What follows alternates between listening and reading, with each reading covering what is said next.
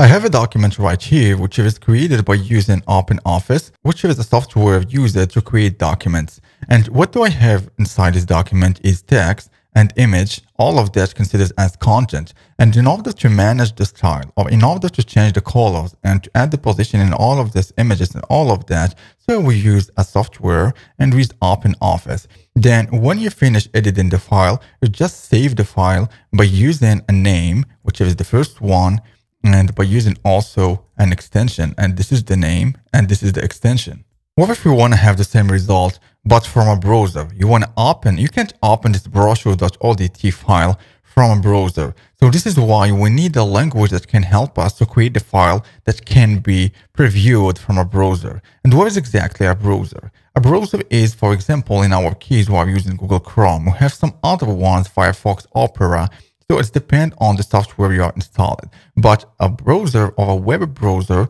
is just like a tool. When you open Facebook or Instagram or any other website, it's just a website that is created on a specific server, but you need, in order to open or to visit this facebook.com, you just need this browser. If you don't have a browser, you can't visit this website. Think of this login page that we are visiting like a document. And what do we have inside this document is a logo, which is an image, and we have also another image, and we have text.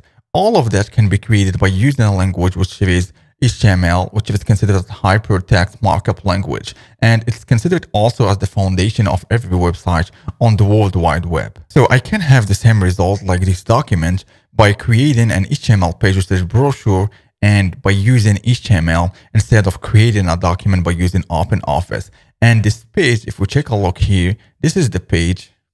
Okay, let's just open brochure. So this is the page brochure.html. And if we open this HTML code, we'll just find out that there is a code inside the page. And what is inside the page is just tags. And these tags are used depending on the element that you want to insert. For example, if you want to insert an image, you will use a specific tag. And if you want to use create a title, you use a specific tag. But in general, don't focus on the styling because the styling isn't done by using HTML code. HTML code is just responsible for structuring the content. So the content can be text, can be image, it can also be video like this one. And if you want to just take a look of a page without CSS, I just go here and remove the CSS code. Don't focus on the code. I'm just showing you the, the basics here. And you take a look here, you have the code or you have the page without the styling. So HTML is responsible for putting the content inside the page, not for the alignment, not for the colors, not for anything related to the style. CSS is the language responsible for the styling. You will not go through CSS in this course, you will go through HTML and you will learn how to put content within an HTML page. What to take from this lesson? So in order to open an HTML page, you have two ways. So if you want to preview the result, you need to use the browser. And if you want to open the code, you just need to install an editor, a text editor. It can be Visual Studio Code, Notepad Notepad++, depend on the software and there is multiple of choices.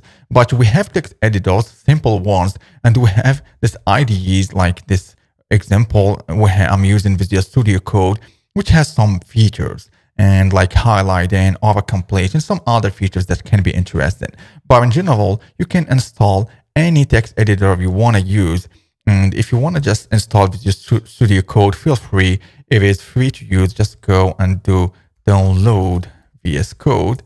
And it can be installed for Mac operating system users, Linux users, or even Windows users. Feel free to use any IDE. For, for me personally, you will find me using Visual Studio Code through the whole course.